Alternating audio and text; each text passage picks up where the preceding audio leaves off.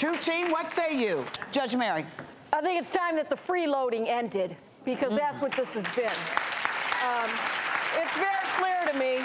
Oh, I want to be with my mom. I, that's a good excuse. But you know what? If you really cared about your mother, you'd come. She'd come home to have dinner made for her after working hard all day. If you cared about your mother, you'd clean up your crap and move on. Dr. Judy.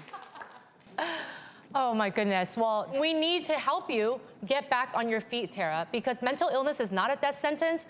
I deal with the mentally ill every day in my practice, and everybody can have a productive life, and I know you can too.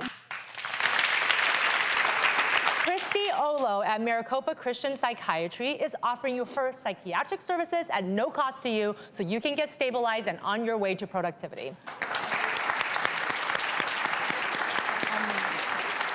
To help you guys restructure your family dynamic and to have a positive relationship again, Shiloh Lundahl at Arizona Family Therapy is going to give you six months of family therapy so you can get your relationship back on track. All right. Rosie. Because both of you want to mend the relationship. Terra, you want the presence of your mom.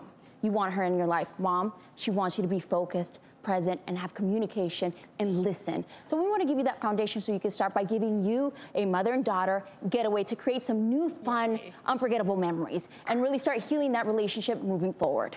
The Fairmont Princess Resort in Arizona is giving you a two-night stay along with dinner at La Hacienda and two spa treatments for you to enjoy. When you go on the getaway, try to say nice things to each other. try to rediscover happiness with each other. Can I get a hug? Can I get a, okay, no, no, I want a good hug. I want a group hug. There we go, there we go. Get some love, love in here. Yeah. Mama's hurting. I understand. All righty, okay. Terra and Debby, thank you all so much for having the courage to face the truth. Thank you. And we wish you the best.